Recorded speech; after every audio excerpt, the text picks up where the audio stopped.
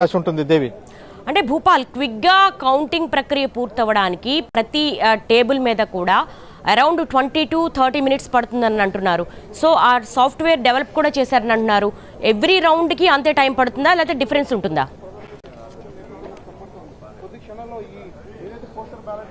దేవి ప్రతి రౌండ్కి కూడా ముప్పై నిమిషాలు వాళ్ళు ఇచ్చిన సమయం. ఇచ్చిన సమయం ప్రధానంగా ఈవీఎంలకు సంబంధించి. ముప్పై అంటే ఈవీఎంలు అంటే ప్రతి కేంద్రం వద్ద అంటే పద్నాలుగు టేబుల్స్ ఉంటాయి. ఒక టేబుల్ వద్ద ఈవీఎంలు అన్ని తీసుకొచ్చి వాటిని ఓపెన్ చేసి మళ్ళీ ఆ రికార్డ్ రాసుకొని అది పై అంటే మళ్ళీ ఆర్ఓ దగ్గరికి పంపించడానికి ముప్పై నిమిషాలు పడుతుంది.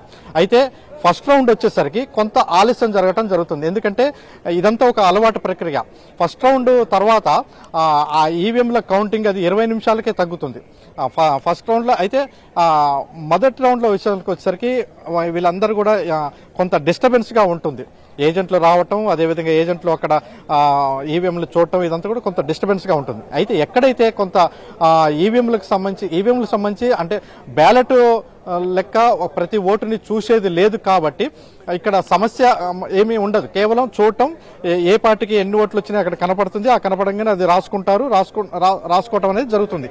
అంటే ఇక్కడ పెద్ద సమయం తీసుకోదు. కేవలం ముప్పై నిమిషాల్లోనే మొదటి ఒక ఒక బ్యా ఒక టేబుల్ దగ్గర కౌంటింగ్ అనేది పూర్తవుతుంది. ఇది రాసుకోవటం మొత్తం కూడా.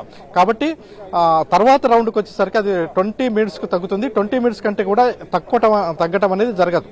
అయితే మొదటి రౌండ్లో కొంత ఆలస్యం జరుగుతుంది ఎనిమిదిన్నరకి అన్ని చోట్ల ప్రారంభం కావాలి. ఈ ప్రారంభం కావడానికి ముందు అంటే ముందు పోస్టల్ బ్యాలెట్ తర్వాత సర్వీస్ ఓటర్స్ ఈ రెండు లెక్కిస్తారు కాబట్టి దీనికి కొంత సమయం తీసుకుంటు సమయం తీసుకుంటుంది. అందువల్ల ఈవీఎంలది ఫస్ట్ రౌండ్ రావడానికి కొంత ఆలస్యం అయితే జరుగుతుంటుంది. రెండవ రౌండ్ నుంచి మాత్రం ఇది చాలా స్పీడ్గా జరుగుతుంది. అయితే ఎక్కువ మంది ఓటర్లు ఎక్కువ మంది ఓటర్లు ఉన్న చోట ఈవీఎంల సంఖ్య కూడా ఎక్కువగా ఉంటుంది. అటువంటి అటువంటి సందర్భంలోనే మాత్రమే రిజల్ట్ లేట్ వస్తుంది. ఉదాహరణకి ఉమ్మడి ఖమ్మం జిల్లాకు సంబంధించి. ఖమ్మం పాలేరు అదేవిధంగా కొత్తగూడెం. ఇవి ఓటర్ల సంఖ్య ఎక్కువ ఈవీఎంల సంఖ్య ఎక్కువ.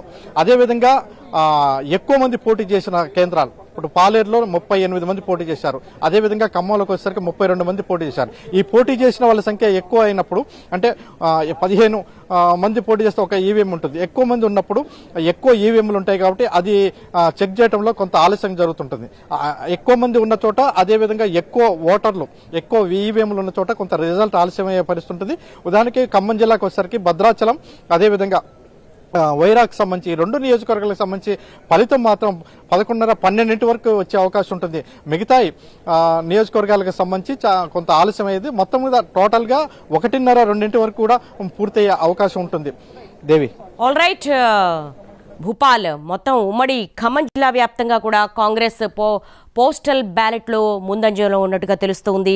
ఇటు ఖమ్మం కావచ్చు మంచిర్యాల కావచ్చు బెల్లంపల్లి కావచ్చు వేములవాడ కావచ్చు అసారావుపేట కావచ్చు భద్రాచలం కావచ్చు ఓవరాల్గా వేములవాడ కావచ్చు. మొత్తం కూడా ఉమ్మడి ఖమ్మం జిల్లా వ్యాప్తంగా ఆ, బ్యాలెట్ పోస్టల్ బ్యాలెట్కి సంబంధించి కాంగ్రెస్ ముందంజలో ఉన్నట్టుగా తెలుస్తోంది. ఇక ఓవరాల్గా సిరిసిల్ల వచ్చేసరికి KTR and Siddipet Harish Rao